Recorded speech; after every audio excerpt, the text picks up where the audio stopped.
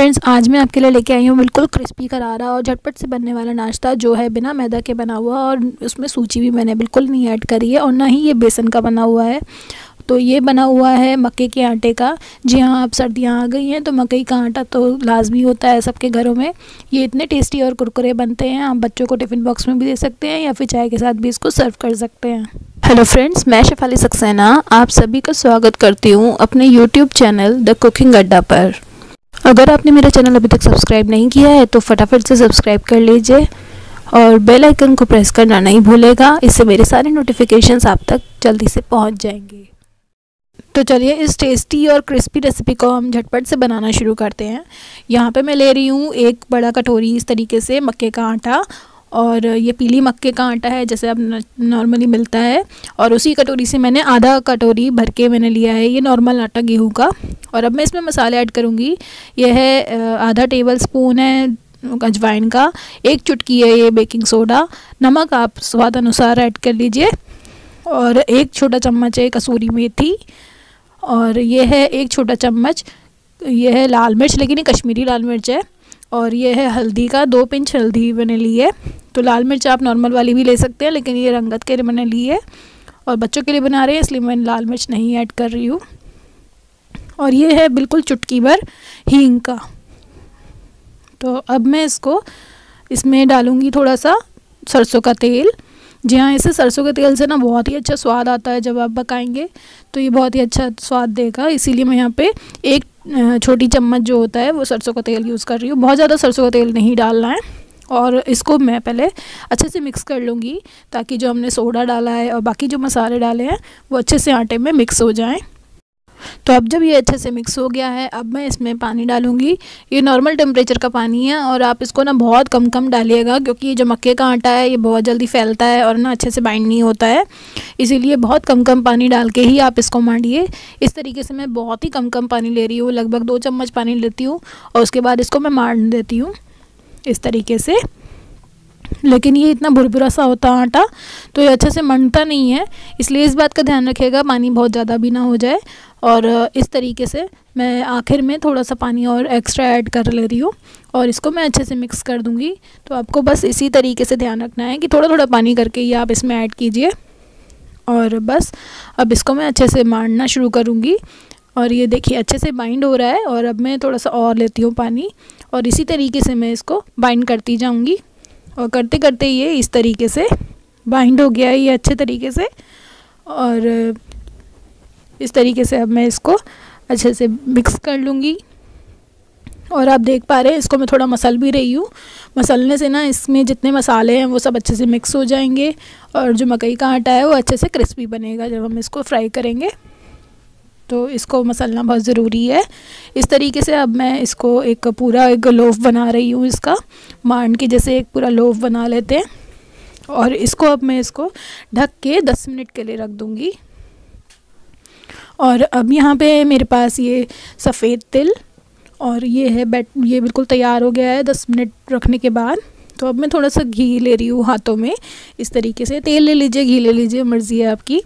और इस तरीके से मैं इसकी छोटा सा पेड़ा लेती हूँ और इसको पहले मैं राउंड कर लूँगी इस तरीके से।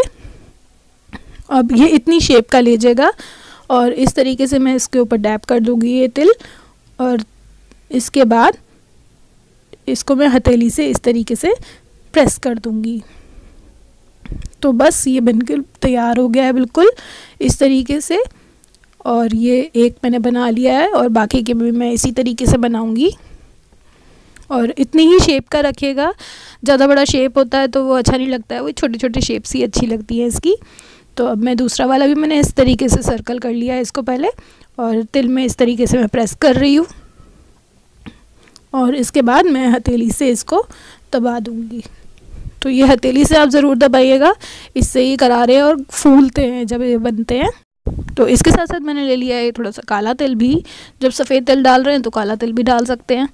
तो इस तरीके से मैं इसको फिर से इस तरीके से रोल कर दूँगी। थोड़ा सा ऑयल लगा लिया था मैंने हाथों में और अब मैं काले तिल में थोड़ा सा करके और बाकी मैं सफ़ेद तिल में इसको प्रेस करूँगी इस तरीके से, जैसे मैंने बाकी के दो करे हैं और इसको भी मैं इसी तरीके से डैप करके प्रेस कर लूँगी हथेली पे। तो बस अब ये तैयार हो गया है। अभी आपके ऊपर है कि आपको सफ़ेद तिल के साथ बनाने हैं या काले तिल के साथ भी बना सकते हैं। ये बिल्कुल आपके ऊपर है। मैंने इसलिए दोनों तरीके के बना के दिखाए हैं। ये दिखने में भी बहुत अच्छे लगते हैं और खाने में भी इनका स्वाद बहुत अच्छा आता है। इसीलिए मैंने ये दोनों बनाए हैं। अब इस तरीके से मैं बाकी के भी तैयार कर लेती हूँ। बस अभी अच्छे से प्रेस हो गया और अब मैं इस तरीके से बाकी की भी तैयार कर लूँगी। और यहाँ पे है ऑयल गरम। मीडियम आँच पे ऑयल गरम होना चाहिए और जहाँ पे तिल हैं, उसी साइड को मैं नीचे रखूँगी और इसको फ्राई कर लूँगी। तो बहुत ज़्यादा तेल गर्म होगा तो क्या होगा कि बाहर से पकना शुरू हो जाएगा और अंदर से कच्चा रह जाएगा। इसीलिए मीडियम हीट पे ही आप कढ़ाई रखिएगा ताकि अच्छे से अंदर से भी पक सके ये। अब इस तरीके से मैं इसको एक एक करके ऐड कर दूँगी और तिल की साइड मैंने नीचे इसीलिए रखी है ताकि वो साइड पहले अच्छे से पक जाए, जो तिल हैं वो अच्छे से करारे हो जाएँ। इसी तरीके से अब मैंने इसमें ऐड किया है। और लगभग मैं एक मिनट तक इसको मीडियम हीट पे ही पकाऊँगी। और उसके बाद जब ये हल्के हल्के से ना जब ये जो बबल्स हैं वो कम हो जाएँगे, तभी मैं इसको पलटूँगी। तो जब ये मक्के का आटा हम इस तरीके से फ्राई करते हैं, ये बबल्स ज़रूर आते हैं। तो इस बात का ध्यान रखिए, ये बबल्स जब थोड़े से कम हो जाएँगे, तभी आप इनको पलटिएगा। अब ये देखिए बबल्स थोड़े कम हो गए हैं और ये ना ऊँचे उठ के आ गए हैं। इट मीन्स ये एक साइड से पक गए हैं। तो अब मैं इसको दूसरी तरफ़ से इसको पलट दूँगी और दूसरी तरफ़ से भी पकाऊँगी।